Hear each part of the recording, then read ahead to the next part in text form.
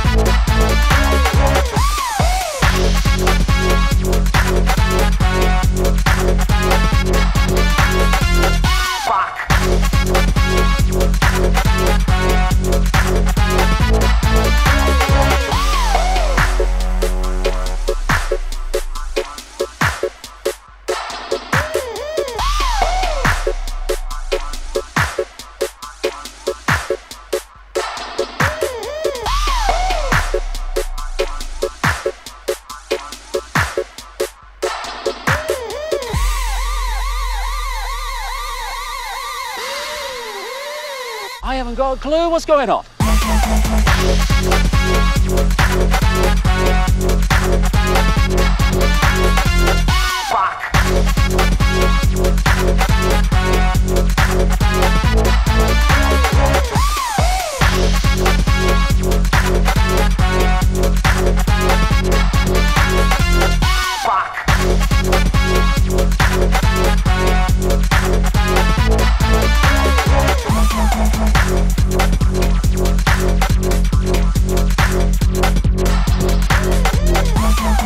Thank